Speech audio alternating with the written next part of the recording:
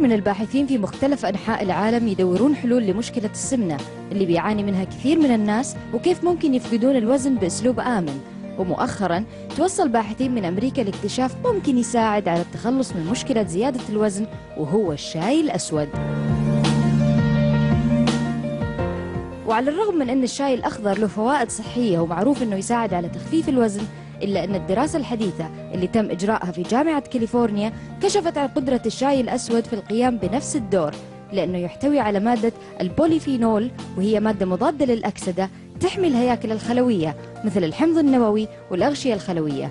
ومن خلال آلية معينة مع بكتيريا الأمعاء يقدر الشاي الأسود أنه يساعد في تخفيف الوزن.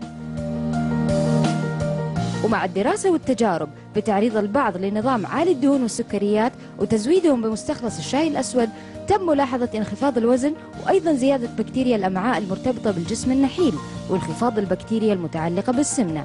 يعني من اليوم ورايح الشاي الأسود والأخضر. أصدقاء لكل اللي حابين يسووا رجيم وما في أحد أحسن من الثاني. وعليكم بالعافية. ويلا سلام.